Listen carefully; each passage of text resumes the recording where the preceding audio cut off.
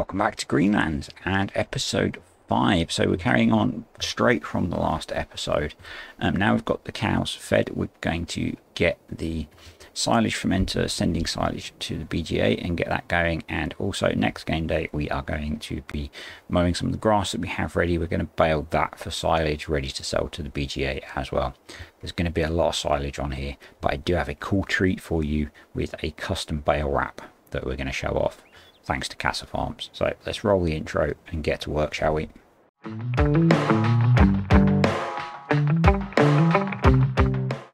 So before we skip ahead and get into the next game day and doing some grass work, yeah, there's a lot of grass work on here, um, but we might as well make use of September. While we're doing the grass work, I am going to get some of the field work going, so liming some of the fields that we've harvested and some of the ploughing as well. But let's have a look at our productions. So we have got our silage fermenter which is working since the last video actually is a no, almost no no game time since the last video um, and that is producing um, it's doing 120 cycles a month we never do live maths we don't say math either because it's mathematics so it's maths sorry pet peeve um, so we're doing 120 cycles a month, which is 40 cycles a day. So we're producing 40,000 litres of silage a day. So it's going to take a long time to get through that. It's going to take 20 days to get through that. That's not great, is it? Who votes for a bit of turbocharging on the production? I think we might do that. Or we might have to put a second one in. Um, that was what I was actually debating, was putting a second one next to it because they're only 30 grand. Um, and then that will go through the winter that will produce it and we can just move some across. I might do that. Um, and then we've got our BGA. And so if we go into the BGA, uh, we're going to enable silage. Um, that is going to produce um, 756 units of electricity and 10 units of methane for every 840 units of silage that goes in. One of the features of the update to my BGA is that the where are they in the list? You might have seen them already. Um, electricity and methane should be in the list. Maybe they're not in the version that I am running. Give me two seconds to refresh the game. So I'm back and found something slightly annoying with this didn't crop up in my testing, which means I need to edit the uh, version of BGA that I've uploaded. So although it does now show methane and electricity, they don't actually list them because there are no cell points available. When I tested it on Elm Creek, for some reason it worked fine, but it's not working on here. I don't know if it's a feature of this map or not. Um, that's very annoying. Anyway, what we're going to do uh, that means I've got some work to do this weekend to fix it. But what we're going to do is we're going to put this onto distributing. And that should mean that it gets sent across to the BGA, hopefully, um, on the end of the hour, which is a few minutes away. And that should start sending silage from there to there. And I do think we're going to put in an extra fermenter and uh, move half of it to the second one, which put it next to it they're only 30 grand each and that will speed up things a little bit. But we're just going to make sure that this actually works. So let's just speed up time a bit. And uh, we'll go stand near it so it tells us when there is product available. And there we go. Go back to, uh, see it's fairly quickly chomping through the uh, silage that has been processed and it's moved it, which is really cool starting to generate electricity, methane and digestate. They are on storing at the moment. Um, so with these you can set them to storing, selling or distributing. Um, put that back to storing. Why would you want them on distributing? You might want to distribute them to a generator that comes with the modular BGA pack so you make more money out of what you sell or you might want to distribute them to some other options which are in my update to the mod pack but I'm not going to tell you what they are yet. If you're on Discord, you might have seen pictures of them. Yeah, so that's got some of the silage processing. Let's put the second one in. Might as well do that on camera. Um, and we can move that and get that all working.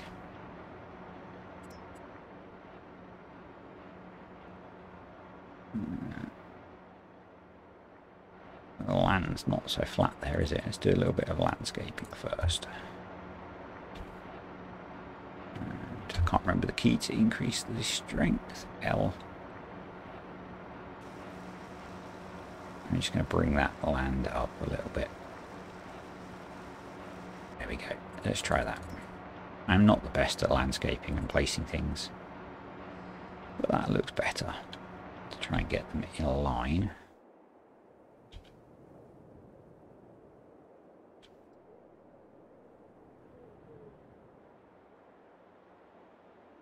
Go with that. Hit V to turn off the collisions. How does that look? That looks okay. We need to put a little bit of concrete down there. Oh no. Yep. Uh, not sure actually. No, not that one. It's not dirt.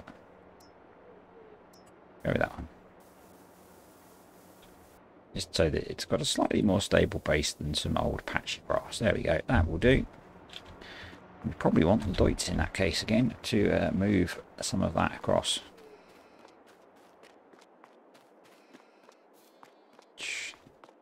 Over here, I think, yep.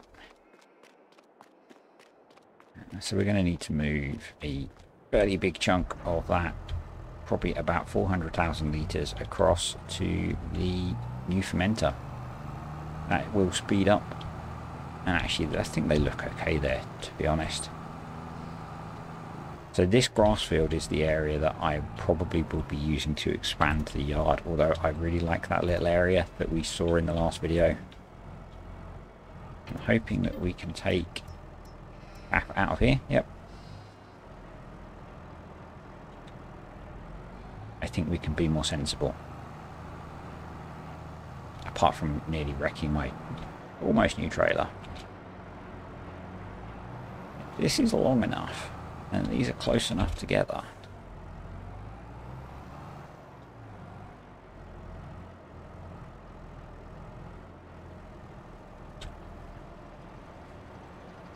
If it's stupid and it works, it's not stupid and it's not cheating. Um, so let's go into the second one and turn that on as well and put that to distributing as well.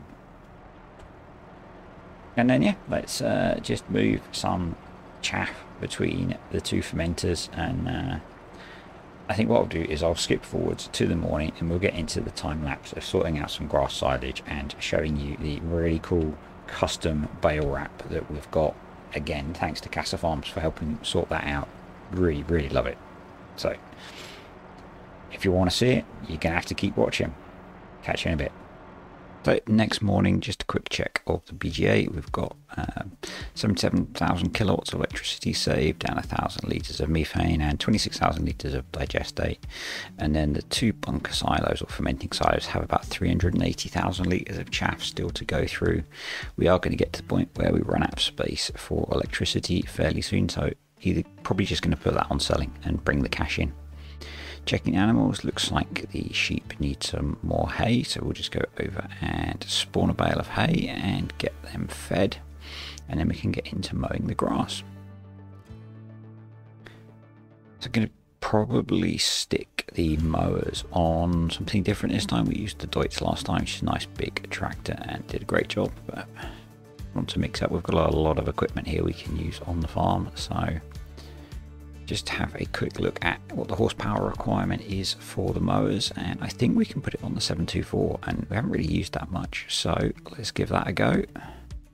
Just drop the weight off the front and these are the um, the NovaCat mowers that windrow. They're base game ones I think now. Didn't used to be but yeah.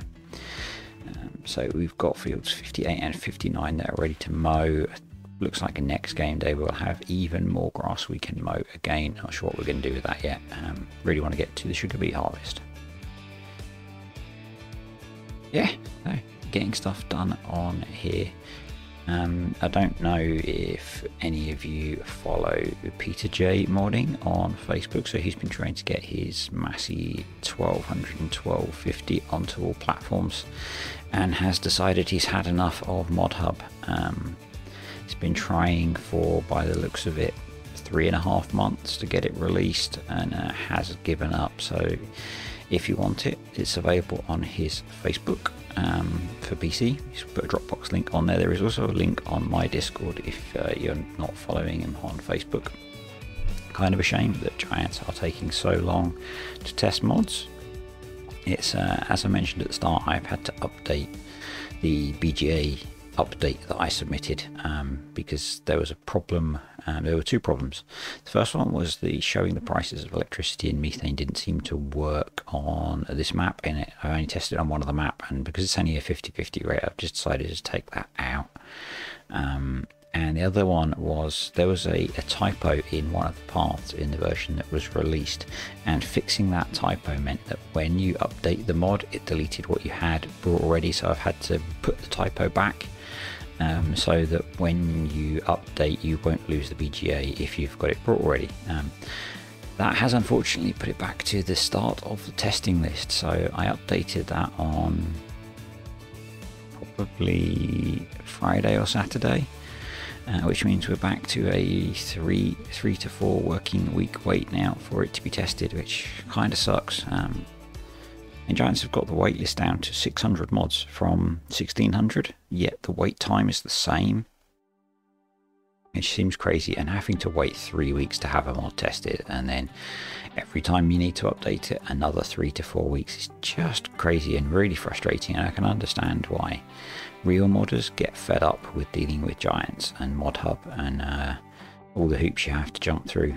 Um, if this update doesn't get through, I'm just going to stick it on uh, my Discord probably, or Mediafire, or King Mods, and it'll be PC only because the the released version works. And if Giants don't want to release the rest of it, I'll just release it. However, I'm not going to jump through hoops to get that released to people.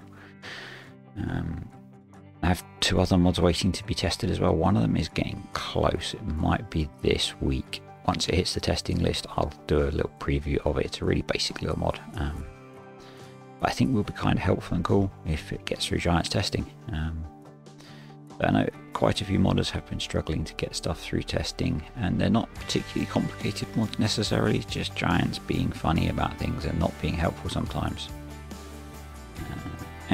So it's a, a, little bit disappointing. I think there are some cool mods on their way out. Actually, let's just jump back and uh, I'll stop whinging for a bit. Mowing is done, um, so we're going to get the Fendt, Fendt, Fendt and Fiat always stick in my head. The Fendt cleaned up, um, and we're going to jump back in the T7 with the baler and get all this baled up. The nice thing is that it was, uh, the, as I said, those mowers do windrow, so we don't need to worry about windrowing or tedding at all, which is really nice as I said, there are some cool mods coming out at the moment. We've got the Zeta or Zetor that's come out from Smetty. Really like the look of that. Nice small tractor to uh, get your farm going. Nice Marshall bale trailer that came out today. Um, yeah, what was the other one? There's the Grimme um, six meter potato topper. That will definitely be appearing on here. And Vertex Designs, where is it? His his or their biomass power plant. That's probably going to come on here as well. That's like a BGA but for chips. Um, we might have to tune it up a little bit because it's quite slow, but yeah, that's probably going to come onto here as well. It fits in really well with what we're doing and means we can maybe do Poplar, um, which would be interesting, I think. So yeah, some really cool mods that have come out recently. The bale counter, that's going to come out on here as well. Um, yes, there are some cool mods coming, but it's just frustrating waiting for them to get through testing. And can see, you know, there are benefits of releasing it on Giants. They give you a bit of cash for it. Um, you get a lot more exposure. I mean, the reason that I did the BGA was to a I wanted it. I wanted it to use it on my farms because I don't like how the base game mods work. But also it was to get my channel a bit more exposure. You know, didn't really work, but it's uh, it's yeah, it's proving to be a relatively popular mod. He probably won't watch it, but I will quote DJ Goham as the only BGA you need, which he told me he said in his video when we were chatting after Daily Pool stream on Thursday last week. Really cool guy. Um, yeah, really good to chat to him. So, getting almost finished with the bailing, doing a little bit of in cab. This baler works really nicely, and this rig works really well in cab. So, we'll get this finished up. Got myself kind of stuck Not very good at reversing in cab and dropping the bales off the back. I do attempt to back this into the shed. Doesn't work. Does not work at all. Um, I need to be able to lean my head probably. There is the mod that lets you do that. I might have to have a look at that. But that's done. So we're going to jump over to the store, pick up the uh, the methane powered T6, have a little bit of a crash, bring one of the Joskin slurry spreaders back, and uh, hook this up to the new bale wrapper and you can see these cool new bales that I am super super excited about. Um, yeah just really really pleased when uh, Casa showed me these. It's nice cool little addition to the game and there we go. It's uh, got my logo on it. I think that looks so cool. Really appreciate that and uh, I like it. You might not. Um, I've got a bunch of custom bale wrap colours that I've added as well. So every time we break this out, we'll do, we'll try a different colour bale wrap. Um, I think the logo is fixed to black, so we can't really do black because we'll get black on black. But I've got some other cool colours that we're going to try. I just yeah adds a little bit of something different. I think it's kind of cool. Um, I did try and edit this as well so that it would take the, the 240 centimeter bales because they're only 220 centimeter and that was a bit beyond what I had time to try and do in the bit of time I had before I wanted to start using it. We've got a hay bale there um, which we will feed to the sheep and there is, um, I'm going to stick this on course play now with the bale wrapping mode so that is literally just a case of opening up course play and hitting play and here off it goes. Uh, while it's doing that, we're going to manually clear the first field of bales um, using the uh, Pongi. Not sure how you say that one, bale trader, because it's flat, whereas the Roland one has a slight tilt on it to tilt bales into each other. And I think this one will be easier for me to manually stack, and it should be big enough to clear this field. We'll use the Roland to uh, auto stack the second field, which was slightly bigger, I think. Was very tempting to just auto load it all, um, but you know, I do like doing a little bit of manual stacking and we're going to manually unload them all to stack them up next to the BGA whilst they ferment because these will be going through the BGA. Yeah, so that um, biomass heating plant, I'm really curious about that. I've had a quick look at it and I think it does need the, uh, the number of cycles increasing a bit Looks like it can process about 200,000 litres of wood chips a year and I'll wait and see what I get off a field. I'm going to plant a field or two of poplar and we'll see what we get. Um, but I think anything more than a year to process it is unrealistic. Um, so course plate got stuck with a few bales so we'll just wrap those and stick them back into the field. There is one that I miss which is in a hedge somewhere which I don't see until we're stacking them. I'll have to pick that up at another point.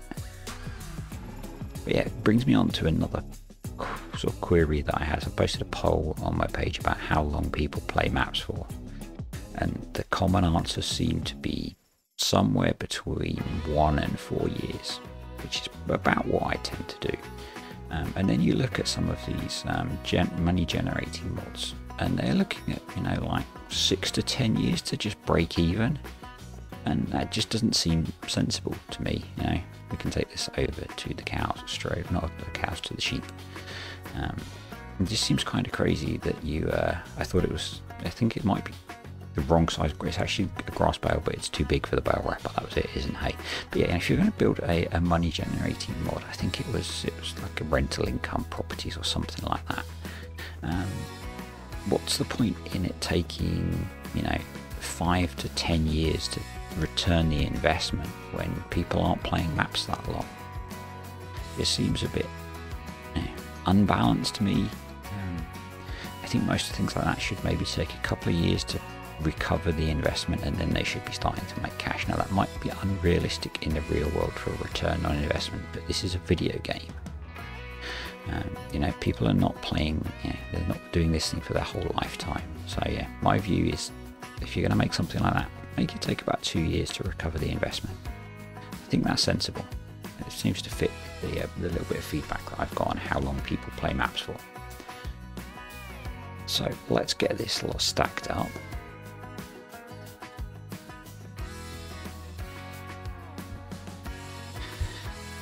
horrible feeling that I'm making lots of background noise on this video commentary and I might have to do it again which will be very annoying. Uh, So just stacking these next to the shed. This is one of Lancey Boy sheds. It's a really nice shed. It currently has all our seeders and planters in the main building and then using the covered area for cultivators, rollers and mineral feed, I think. But once we've got these stacked up, we're going to um, going to roll or harrow the grass field and go and buy one of those. I did say I was going to do some other field work, but not done that. Um, a bit like on Calmsden, I'm going to hang fire on the liming until we get precision farming because I don't want to have to do it twice. It's quite time consuming and doing it twice would be silly.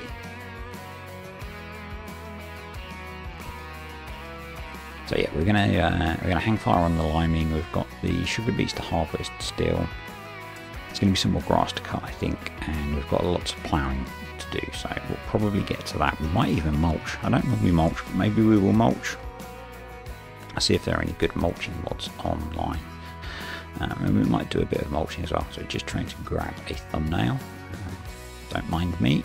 I'll be back with you in a moment. There we go. As I said in the Calmsden video, I'm really bad at getting good thumbnails, so I was trying. I was definitely trying to get something that looked kind of cool. But I need to put the camera field of view back. And I should have probably moved that trailer out of the way. Not a bad job for manual stacking, I don't think, considering most of them are manually stacked onto the trailer as well. I'm pretty pleased with that. I'll take that. Um, I'm going to get all of this put away and then we're going to head over to the store to pick up that um, harrow slash mulcher uh, or roller. I think it's a, it looks more like a harrow, but it acts like a grassland roller. So it's from Robert from their pack. Thanks to Kartek for pointing this out when he used it on his Calmsden Let's Play. Uh, it's 9 meters wide, so it covers quite a lot of ground. Um, and it's basically free fertilizing for grass once you've brought it. So yeah, we're going to get these two fields done. Um, they all need ploughing, unfortunately. Now, there's that kind of hope that Maize Plus will drop and we can use the grassland subsoiler. Um, if not, I guess we'll be come springtime, we'll be ploughing and replanting these. As soon as the sugar beet is ready to harvest, I'm going to stick my geo in as well. Um, just waiting for that crop to finish ripening. Ripening is probably not the right word. Anyway, thanks to the channel members just scrolling by on the screen now. I do appreciate the uh, help that you provide to the channel. Just lost my train of thought completely there. Oh yeah, ploughing grass fields and geos, yeah. So we're waiting for the sugar beet to be ready to harvest. As soon as that is, I'm going to get that geo stuck in. Um, that opens up options for spring planting as well, obviously with grain crops. I've not really decided what we're going to grow on here. We obviously need to feed the cows and the sheep, but we've got lots of grass, so I'm not too worried about that. Uh, need to do something for some straw and then mostly about making cash. So that's going to be silage and we're going to be doing potatoes and they're a pretty good earner, um, mostly because they're hard work, but mostly we'll be trying to make cash on here. Um, poplars, I guess I've said, yeah, so maybe, maybe we do know what we're going to plant. I just need to work out which fields I'm going to put them in. And not having, I guess the other news we've had is we're not getting real, probably not getting real seasons. I think Realism has basically said that, um, or it's not on the cards at the moment. They are busy with other things. Um, and something that I miss is the crop rotation calendar that was in that. Even if we just had, you know, there's the the work planner model, whatever that is, but I don't really, it didn't really feel right to me when I tried to use it. But a simple crop rotation calendar would be quite cool to add in, um, so I don't have to have a post-it note on my desk, which is what I do now. It works, but not as nice. I did like having crop rotation in seasons and I'll be doing it, I'll just be doing it manually and not for the benefit of yield, I guess. It's a shame they didn't bring it as part of precision farming, that would have been quite cool. And particularly if they could have played games with nitrogen and you know things like soybeans adding nitrogen back into the ground rather than just being nitrogen neutral and not having an effect on the field. It would have been really cool if you know if you planted a field of soybeans for the year and grew and harvested those, you gained nitrogen rather than losing it. I think they had nitrogen back in, not a farmer, but I think that's what I've heard a lot of people say. So that would have been a cool way of playing it, and maybe they have, and we just don't know yet. We'll see in just under a week's time when precision farming is released. Going to be cool. First, kind of big game-changing release for FS22 because the uh, the DLC was not. Um, having I've used it a bit as well, so I'm doing a video on grapes and whether you can make money from them.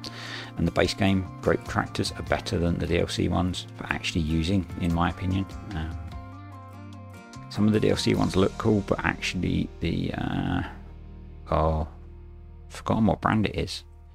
Um, but the Fendt and the other one that's available are much better to use and drive. Um, so yeah, it's a bit disappointing, really. Disappointing license content.